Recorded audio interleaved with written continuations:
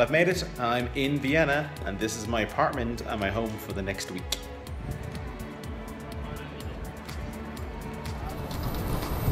As you do when you arrive in a new city, you come for a little walkabout, um, and it's been about seven years since Vinny and I were in Vienna.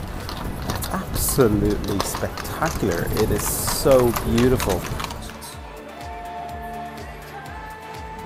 Pretty noisy here, but this is the Eurovision Village behind me. It'll be opening this evening at half seven. It's a bit delayed opening this year because there was a small event called the Life Ball happening over the weekend.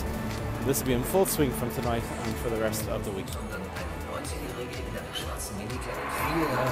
Inside the actual Eurovision Village itself, there are allocated stalls for each of the, the countries representing here.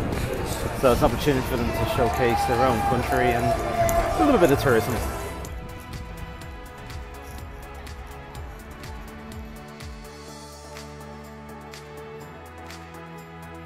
So back in the apartment now, I have my itinerary for the Eurovision Village. It's launching in about an hour or so. Um, Vienna is absolutely stunning. I forgot how beautiful the city is.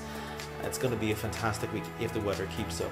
So tonight it's Euro Village, and then I believe there's a little Irish party, so I may have some footage of that tomorrow. Until then.